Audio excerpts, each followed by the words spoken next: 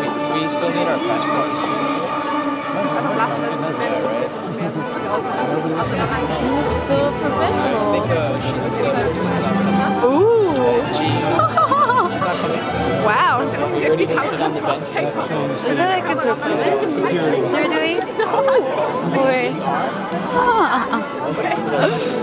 with the music?